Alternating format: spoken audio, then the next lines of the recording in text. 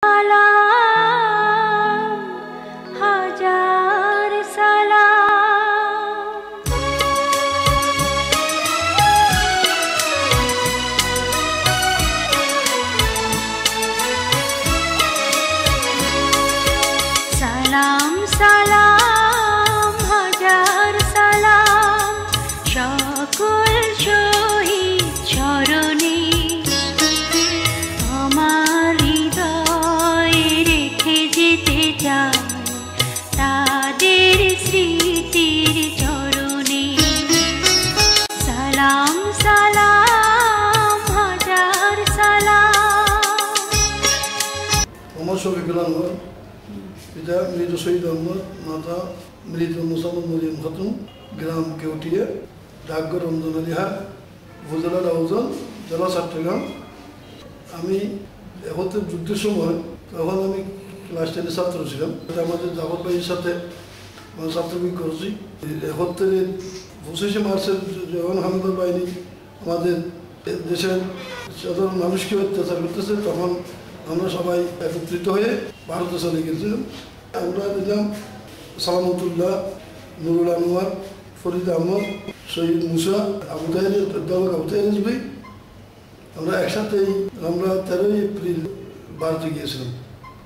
ওইখানে ভারতে পৌঁছে আমরা হাবলক ট্রেনিং সেন্টারে গেছি, আসামের।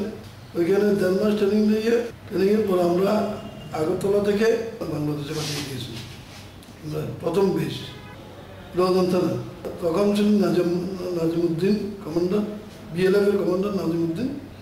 ডেপুটি কমান্ডার ছিলেন আমাদের তোহেল আহমদ, আমাদের সাথে দশজন রোজন থানায় অপারেশনের জন্য আমরা রোজন থানায় এসেছি। দশজনের মধ্যে আমরা নাজিমুদ্দিন তোফাইল আহমদ, হাসান খন্দকার শহীদ মুসরা Mozaffar Ahmad, Abu Jafar Chowdhury, Murshid Khan, Mozahir Islam, L M G Hashem Bharat থেকে যখন আমাদেরকে ফেরি সাগরনাইয়া দিয়ে ঢুকেছে।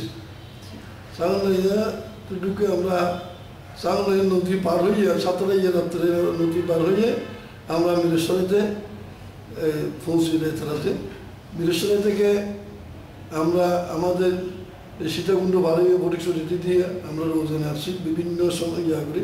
রোজনে এসে আমরা অপারেশন শুরু করলাম, বিভিন্ন জায়গায় অপারেশন করেছি।